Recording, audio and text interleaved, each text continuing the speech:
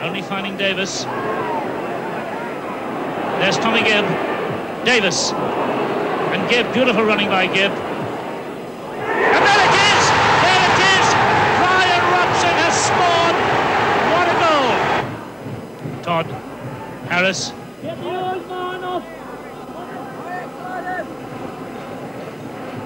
Breaking on the left now. Finding Mulhall. And here's a chance for Suggett. And it's a goal! What a goal by Colin Suggett! Oh my goodness me! Ten years on, the scoreline remained the same, only the faces had changed. Ken Knighton was in charge at Roker, while Newcastle, now managed by Bill McGarry, were lying sixth in the old second division. They took Sunderland by surprise, not to mention the commentator, by one of McGarry's more inspired signings. Too hard.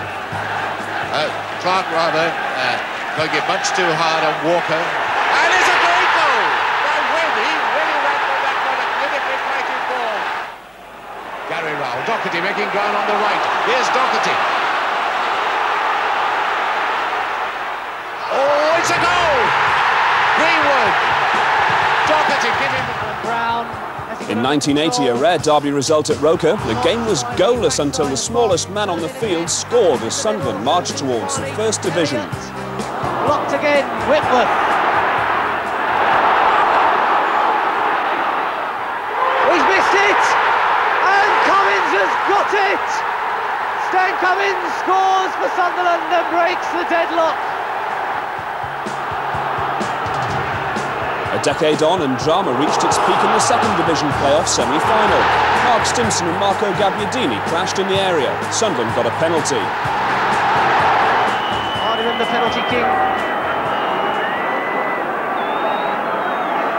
Here goes Hardyman. And Burridge has saved it!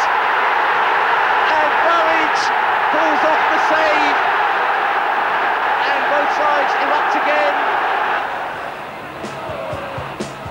Almost 12 months ago, Roker staged its most recent derby, and again it was a point apiece. Peter Davenport claimed Sunderland's first half goal despite Matty Appleby's attempted clearance.